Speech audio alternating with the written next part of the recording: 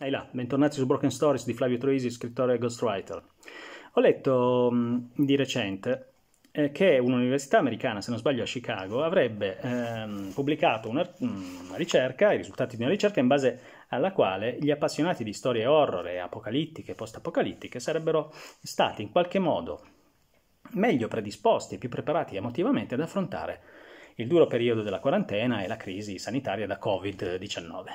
Ebbene, non so se questa sia una notizia eh, fondata, però non mi stupirei, eh, non mi stupisco di questo risultato, assolutamente. Perché?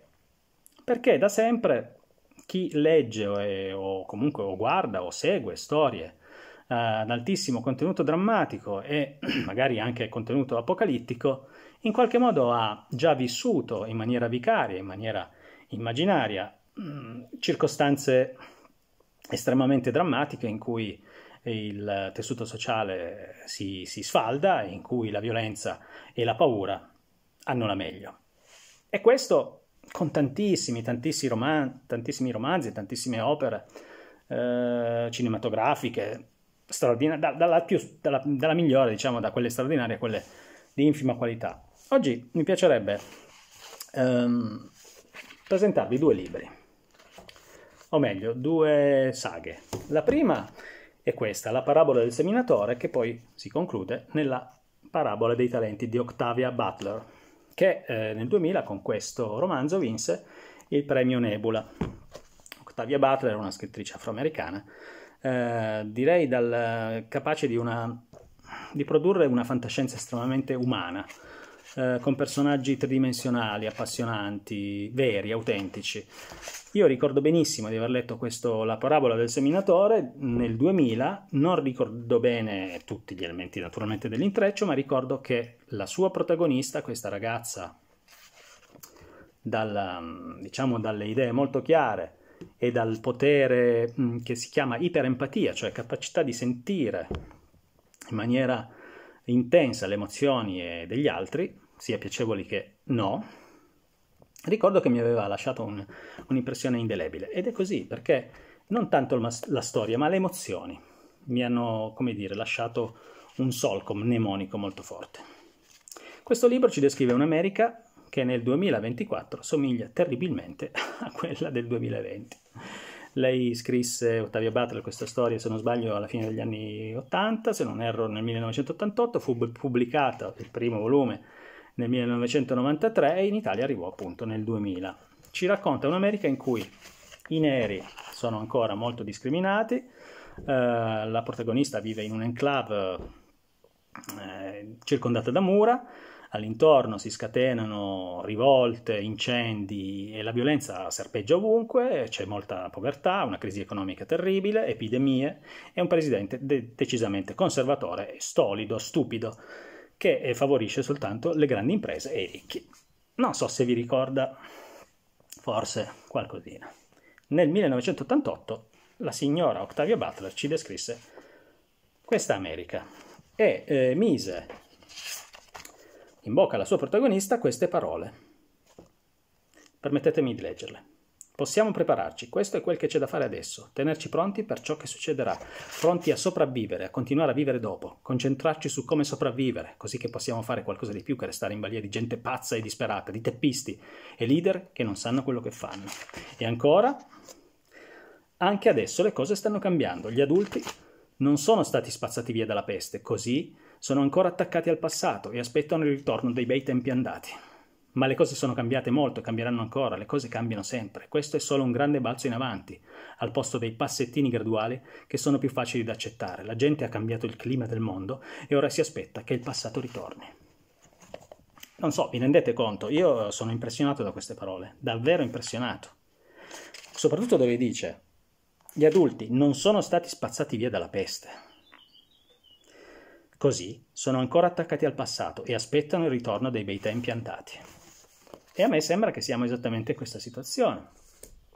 Naturalmente mi auguro che non sia la nostra realtà paragonabile a quella così cupa che Octavia Butler ha tratteggiato, però lo vediamo anche noi. Abbiamo vissuto una, un periodo di, eh, e non siamo ancora fuori assolutamente, da un periodo di pandemia globale e tutto quello che vogliamo o meglio, tutto quello che tanti vogliono è semplicemente che si torni alla vita di prima, esattamente come prima, tanto è vero che abbiamo un sacco di gente che neanche ci vuole credere che, ci sta, che esista questa, questa, questo virus.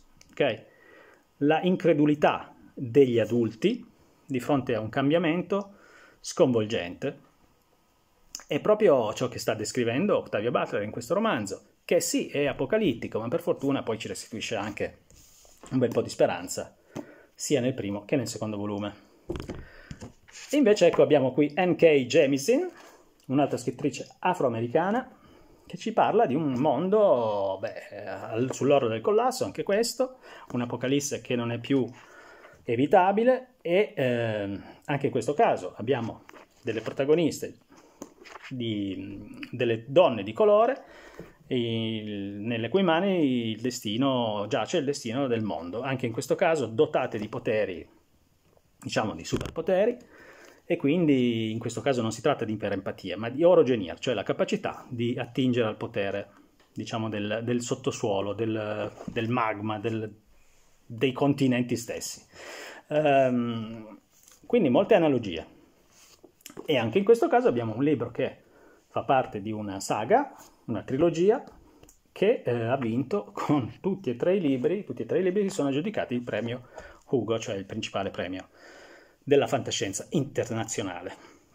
Stiamo parlando quindi di opere che ci raccontano la fine del mondo.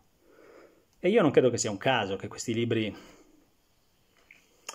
come dire, eh, abbiano in sé questo potere di, di abituarci a pensare in, uh, al di fuori degli schemi abituali, a pensare che Ragazzi, il peggio può succedere, non possiamo negare l'ipotesi che un virus letale si aggiri fra di noi, che il nostro stile di vita debba in qualche modo cambiare, che il clima sia prossimo al eh, collasso e che quindi il nostro stile di vita debba assolutamente essere modificato e in tempi rapidi, tempi rapidissimi.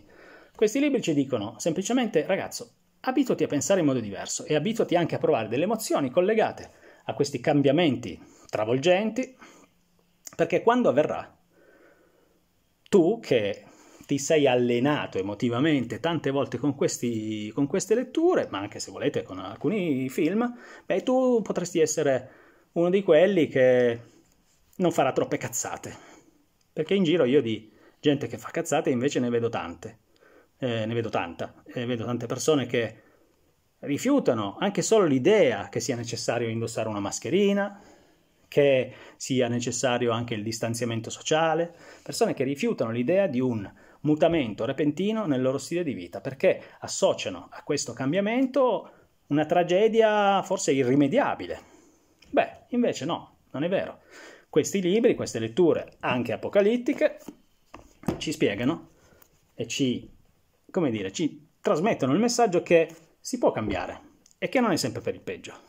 Certo, il peggio forse bisogna attraversarlo. Una lettura interessante. Questo lo trovate in edicola, è uscito questo mese.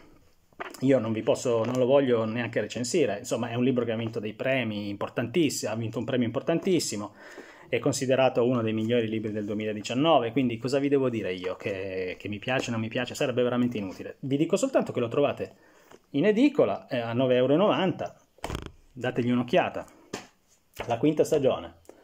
È un po' fantascienza, un po' fantasy, interessante. Comunque di sicuro ha i requisiti per essere considerata una broken stories. C'è, molta, c'è un forte pathos, ci sono protagonisti abbastanza, abbastanza infranti anche loro eh, e soprattutto le pagine scorrono, scorrono bene.